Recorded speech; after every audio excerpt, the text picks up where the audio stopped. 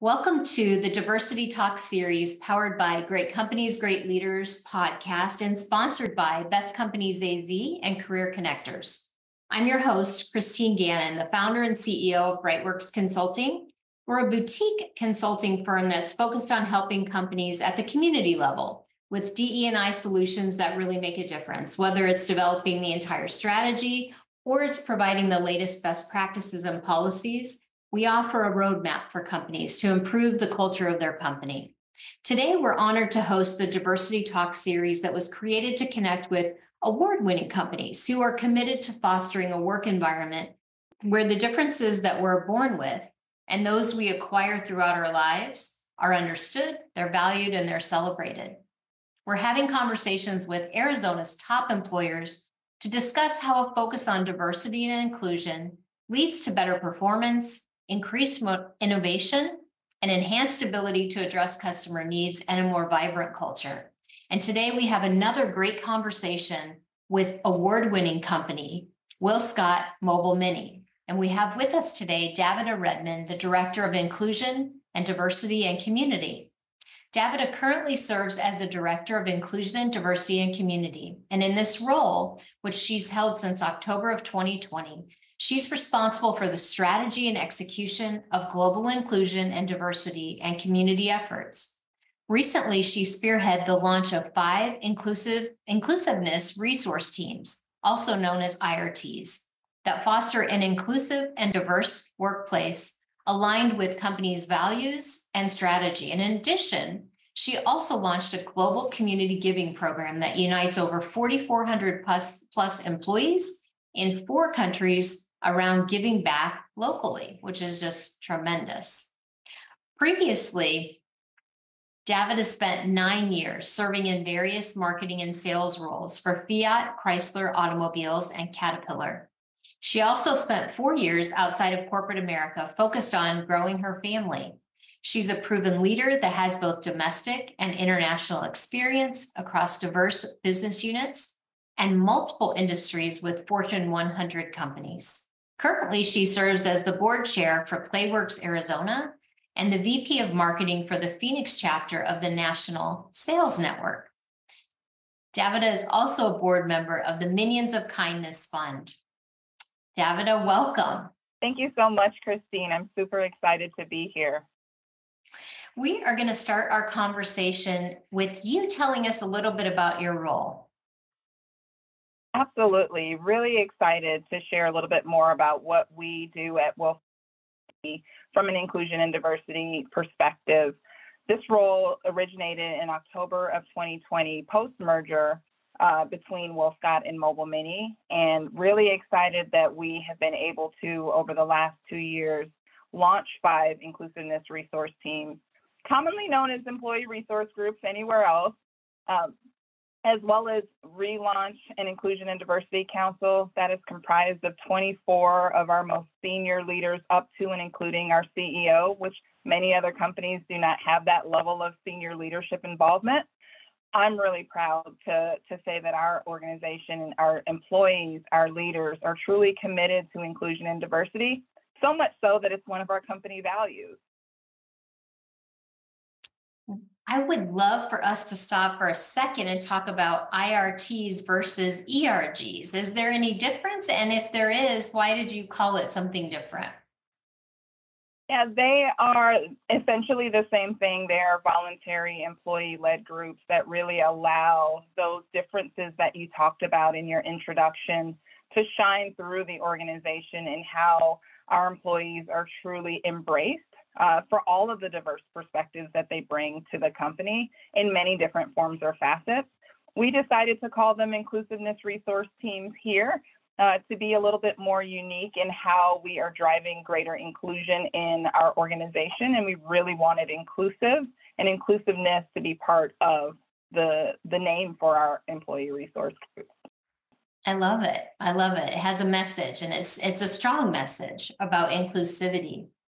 What kind of IRTs are in place? What what kind of um, teams have come together? Sure. We have five so far, and the original five that we launched really service our female population and those who identify as female, our veterans, our Hispanic, uh, Latinx population, our Black and African American population, and our LGBTQIA plus population as well. But what I will tell you that I think is a little unique to our organization and the way that we view employee resource groups, or in our case, inclusiveness resource teams, we really believe in the power of allyship. And so it doesn't matter uh, whether you believe that you identify with a demographic for a group or not. You don't have to be a female or someone who identifies as female to really want to empower and break down barriers for our women in our organization and in society. And so anyone that really believes in the mission of the inclusiveness resource team is welcome to join, welcome to participate, welcome to roll up their sleeves, build a better organization. Because so many organizations are curious about, I'm going to call them ERGs because in industry, they're known as ERGs. So because so many companies are interested in that, can you talk a little bit about tactically? What do your teams focus on and what are some of the activities that they do? Absolutely. Programming is very important. And I'll tell you, I appreciate the fact that I wear two hats from an IND perspective and a community perspective. That is very intentional. And they focus a lot on reaching back and reaching out to the communities that they serve, not only geographically, but equally from a representation perspective. So these groups will do a lot of fundraising, a lot of um, ways to really reach back into those communities. Equally, from a, an education perspective, these groups have been foundational in really, really helping our employees to understand some of those differences that are inherent, whether it's culture, whether it's gender, um, whether it's uh, sexual orientation, they are instrumental in helping employees that maybe don't have exposure or experience learn something more and equally work well with anyone and everyone within our organization. That's incredible. I know um, I know how important these groups are to employees and how important they are to the fabric of the company, but also the culture. I think that um, these teams and these groups really foster a sense of inclusiveness by the activities that they do and the mission that they take on, really, in terms of how they impact the company, especially when when new employees join. I think that they have a significant role. Absolutely. We see, and I know it's not only by the virtue of my role, but whenever I sit across from a candidate and answer questions or share with them about our organization, uh, they are very interested. The generation um, millennials and Gen Zs are very interested in the diversity of an organization, the the ideas and innovation towards in, inclusion, companies with a purpose, right? Not just uh, profits, but equally understanding the impact, their footprint, whether it's from an ESG perspective or anything else. And so it's really important to make sure that we are providing an environment where our future talent feels welcome, feels appreciated, feels like they belong, and can really bring their best selves to work. Fantastic. I'm going to switch gears a little bit and ask you a question related to the organization and how you feel like your company demonstrates its commitment to D&I. Your role is a significant commitment, right? And a significant message to the company and also the community that you're invested. But what other ways does do, do you feel that um, there's demonstration of commitment Great question. I will tell you, and I mentioned it a little earlier, I think the fact that being committed to inclusion and diversity is a company value speaks volumes. We could have had a very generic, people centric value, but we chose to really specify and honor the fact that we are committed to building the most inclusive organization, knowing that when we lead with inclusion, we will attract all the kinds of diversity that we are after to truly have a best in class organization and one that people want to come and work for. So I think starting with the values and knowing that it was very intentional from the beginning after the merger says a lot about our leadership and the mindset towards inclusion. I think it sounds like um, organizations like yours, they're not just a poster on the wall or even a virtual poster on the wall that expresses their values, but it really is something that's lived every day. And hopefully that people are positively challenged to to show up with those values as well. Absolutely. If we look at a little bit at policies and practices related to DE&I, what do you feel like are the types of programming that you've either put in place or the organization has put in place to promote DE&I in the culture? I would have to start just based on where we are in our journey, really pointing to those inclusiveness resource teams and standing up five um, from the very beginning. I think that is a significant statement in terms of honoring our employees and their differences and really valuing them.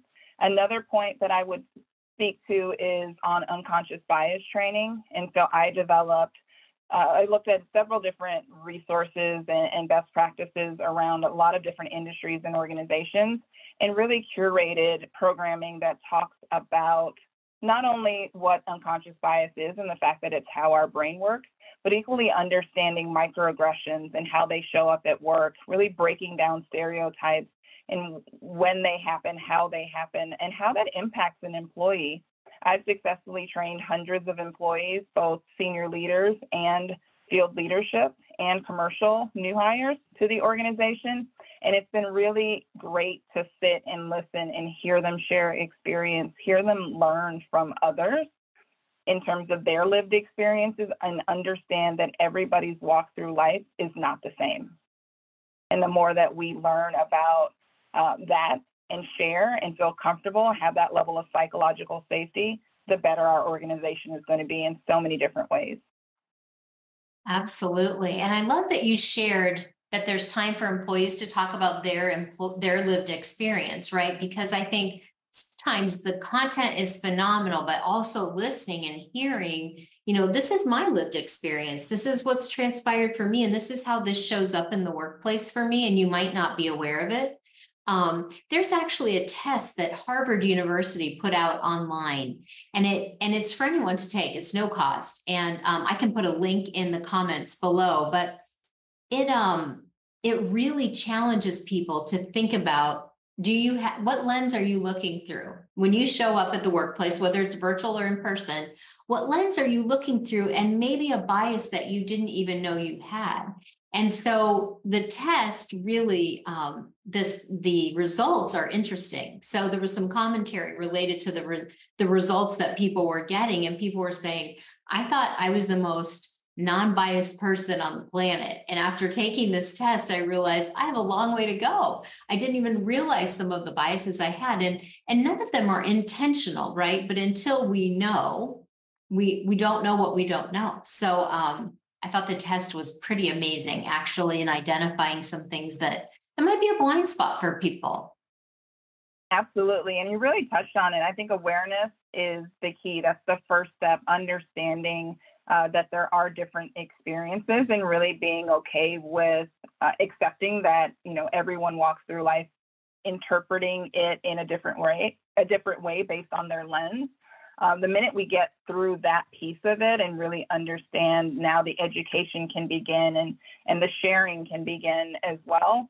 And equally, I see light light bulbs go off all the time. And what I love about that training as well that I'll share with you, Christine, is I have changed it after several after many sessions it is a living breathing training session based on input and, and influence that i get from the classes as i train them you know, it continues to morph and develop into what it is that it needs to be for our people. And I, I love that. You brought up a really important point without even realizing it, which is any type of programming related to DE and I cannot be static, right? It has to evolve with the organization. As the organization matures um, and transforms, it really can't be a one and done. It can't be that you would just put in unconscious bias training, check the box, and keep going. It really is, you know, taking a step back strategically and looking what does our organization need today? And then, you know, a year from now, what does it need now versus, you know, it's just really evolving. Absolutely. And I'm looking, I'm proud to look back a year from now and see how far we've come but I'm even more excited to look back next year and the year after and to see how far we've really been able to transform the organization. And more importantly, the lives of our employees. Everything that I look at is transformational for our employees globally and, and really making a difference in their lives and making it, uh, making our world better in this, my sphere of influence. Absolutely. Four walls that I can, can control and, and try to impact. It has a strong ripple effect, right? It has a very strong ripple effect. So I have a couple last questions for you quickly. Why is your company a great place to work? Our company is a great place to work. One, I will start with senior leadership. I think from the top down, we really are not just talking the talk specifically around inclusion and diversity, community, safety, uh, commitment to excellence, all of those things, but we are walking the walk. Um, we're an amazing company with a really great future and growth trajectory and it's because of the the the impact and the influence of our amazing employees. So I think if anyone is looking for an opportunity to work for a company that's doing great things with amazing people and wants to come along for the ride, this is a really great place and a really great time to be a part of the WillScot Mobile Mini family. It sounds like it. Everything you've shared sounds like it. Absolutely. So, final question Who's your hero? Great question and a tough one. I am going to, to go old school and really talk about my, my dad and, and my family. Um, we moved to the US when I was three years old for a chance at the American dream from the only English speaking country in South America, Guyana. And every every sacrifice that my parents made in order to give us a chance for a better life to be able to look back now and see how much I've advanced in my career uh, because of those opportunities and the foundation that they were able to provide for me, it, it's tremendous. It's amazing. And I hope it's inspiring to my children as well. Fantastic. Thank you for sharing. Thanks so much for being with us today on Diversity Talks. And appreciate all the wisdom, expertise, and knowledge you've poured into our audience so that they can take advantage of some of the pathways that you've gone down and have been successful. So thank you so much. Thank you. Brightworks Consulting hosts this podcast and YouTube channel to spotlight the leadership around the world that is changing lives. Brightworks offers a myriad of consulting services in the public and private sector to include diversity, equity, and inclusion solutions for any size company. You can find us at www.brightworksconsulting.com. We're honored to have Best Companies AZ as a presenting sponsor for this podcast. Best Companies AZ is your number one source for regional employer branding. You can find them at www.bestcompaniesaz.com.